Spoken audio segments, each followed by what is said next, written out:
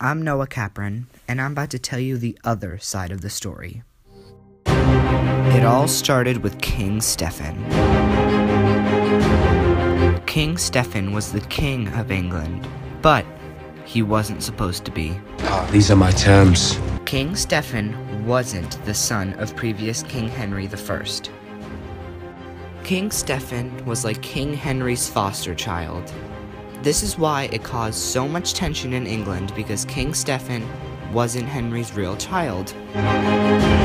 King Henry did have one true child. And that was Empress Matilda.